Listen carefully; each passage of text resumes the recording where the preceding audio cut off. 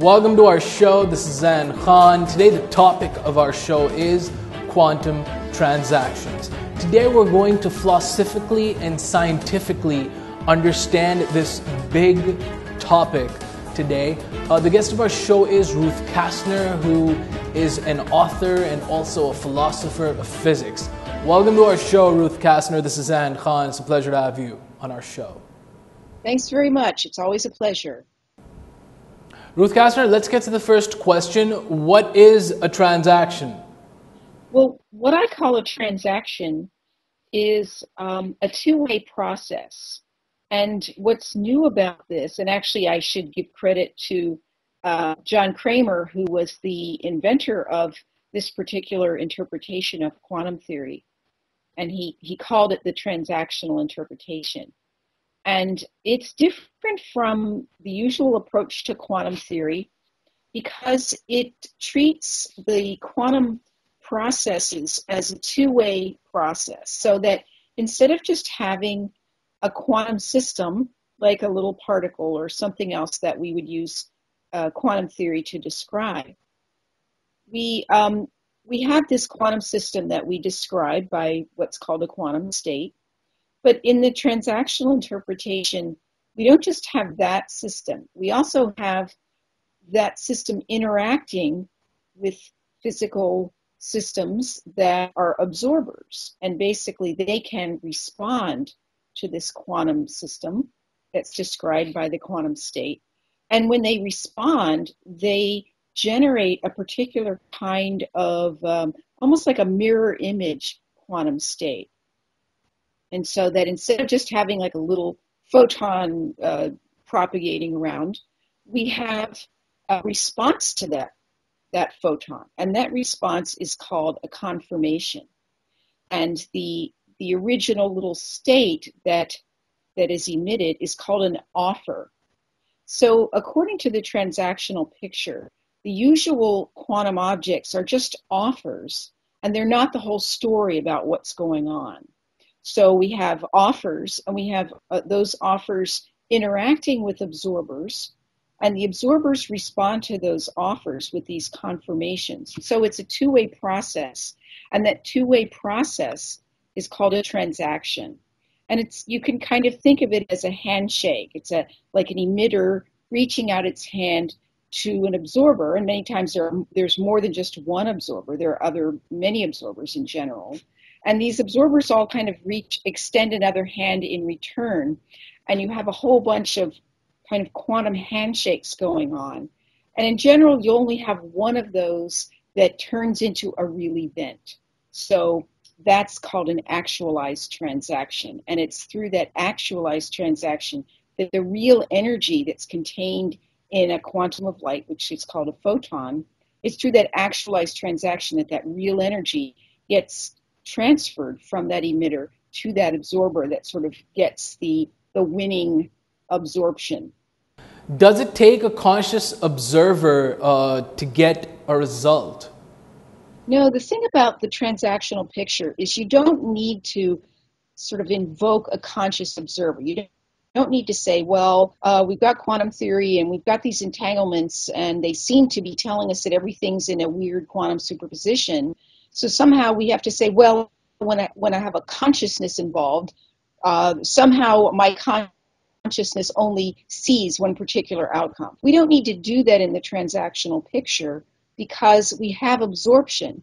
And absorption is a physical process that really does generate these, these confirmations. And in a very physically rigorous way, you get this measurement outcome. You get a situation where you have a well defined outcome, and you don't need to kind of say, well, something strange has to happen, something that's outside the theory, something that's beyond the physical systems that the theory seems to be describing. And that's why people bring in consciousness because they sort of feel like they can't do without it. But but in a way you can do without it to address what measurement and, and how you get specific outcomes in the transactional picture.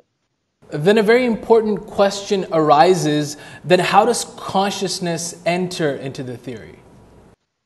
Well, we don't strictly need to bring in consciousness in the transactional picture. So we don't have to say, uh, well, you know, this is a physical theory, and it, but it still has to account for consciousness. Traditionally, in physics, you know, it, it's only because of quantum mechanics that people are saying, well, physics, you know, the field of physics now has to explain consciousness to me. In, in the transactional picture, we return to a situation where physics, it's not really the province or the, the domain of physics to explain mental experiences and to explain consciousness. But the nice thing about the transactional picture is, is it doesn't say, well, you can't have consciousness, or it doesn't rule it out. And it actually does allow for the idea that that if you think of the mind as as a more abstract kind of kind of object or entity than matter, well, in a sense, quantum objects are more abstract too. And you can you can speculate, and this is just speculative. It doesn't have to be part of the theory itself or part of the interpretation, but you can speculate that the mind might be a quantum entity. And in that sense, there's a natural place for the mind to enter as, as a part of that quantum realm that we can't see, you know, just like we can't see quantum objects apart from measurement results. And we can't see the mind either, but in some sense, the mind might actually be a quantum entity.